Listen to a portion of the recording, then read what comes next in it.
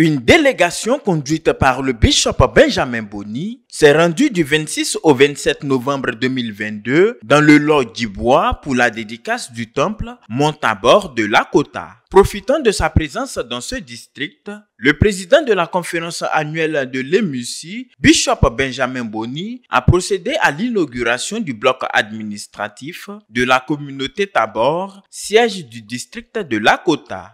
Le bloc administratif que voici il est composé du bureau du surintendant avec un secrétariat, un hall qui va servir de salle de réunion et trois autres bureaux. Nous sommes en train de l'équiper progressivement. Vu la circonstance, nous avons voulu l'ouvrir pour que le service de Dieu ici soit effectif. Après les propos liminaires devant le bâtiment, la coupure du ruban, le bishop a effectué une visite guidée dans l'établissement, suivie des autorités administratives et religieuses. Il a consacré cette réalisation et invité les pasteurs et les laïcs à en faire bon usage. Clamons le Seigneur pour féliciter nos frères et sœurs qui l'avocat. Prions Dieu. Père céleste, nous te rendons grâce de ce que par tes soins, cette maison bâtie par tes serviteurs a été restaurée pour l'organisation et l'administration de ton œuvre, frères et sœurs du district. Que la paix de Dieu, la joie de Dieu, l'amour de Dieu et le succès que seul Dieu donne articule votre marche jour après jour sous l'onction du Saint-Esprit. Au nom de Jésus-Christ. Amen. Amen. Jadis presbytère du pasteur de la localité, cette bâtisse a été transformée puis rénovée pour servir de bloc administratif en vue de gérer les affaires courantes de l'église.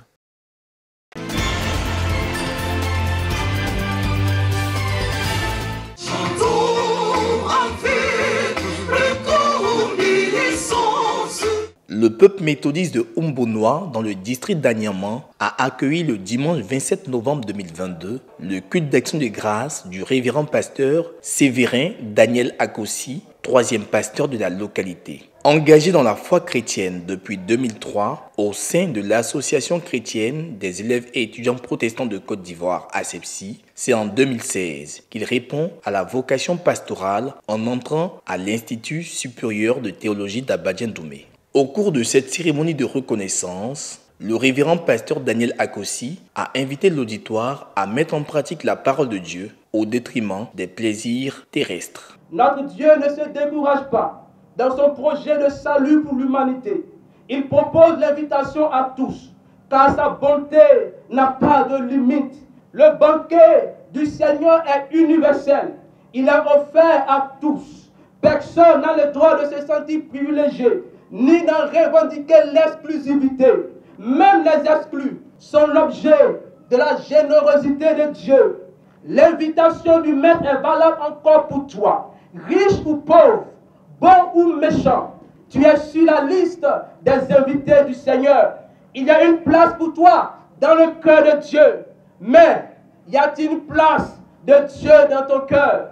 Aujourd'hui, il est possible pour quelqu'un d'espérer quelque chose de meilleur, d'espérer une délivrance, une promotion, même s'il ne possède pas un centime.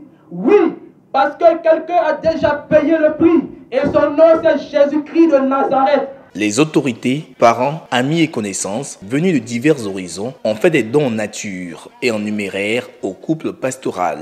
Au nom du bishop Benjamin Boni, le très révérend Eugène Assalé, président du Conseil des ministères, a traduit les encouragements de l'Église méthodiste unique Côte d'Ivoire au pasteur à l'honneur ce jour. Le révérend pasteur Séverin Daniel Akossi, le Seigneur Jésus nous a déjà prévenus des difficultés qui nous attendent. Mes collègues, prends courage.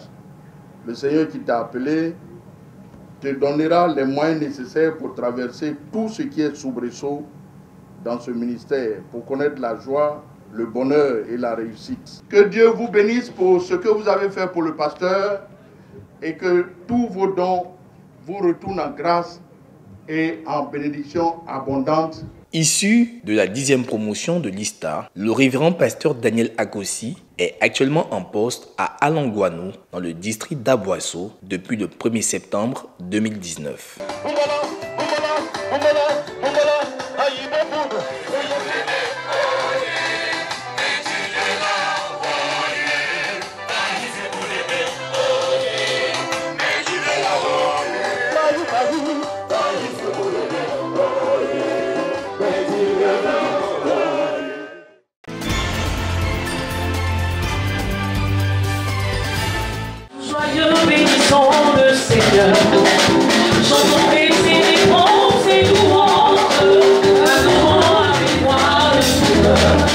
Permettre aux chrétiens de toute obédience de faire monter vers Dieu leurs prières, s'enraciner en Christ et affermir leur foi, tel est l'objectif de la cellule de prière de restauration divine. Jéricho doit tomber. Celle-ci a organisé son tout premier programme de prière le samedi 26 novembre 2022 à Anani, dans la commune de Port-Bouy. Une initiative du catéchiste Salomon Atangba qui a exhorté le peuple de Dieu réuni autour du thème le Dieu de la seconde chance tiré de Josué chapitre 2.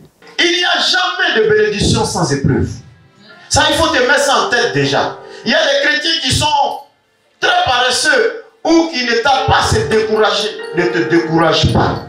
Dès que tu vois l'épreuve, sache qu'il y a le bonheur qui est caché derrière. Nous avons un Dieu qui prolonge la vie de l'homme en se glorifiant. Alléluia. Dieu a déclaré des choses importantes sur ta vie.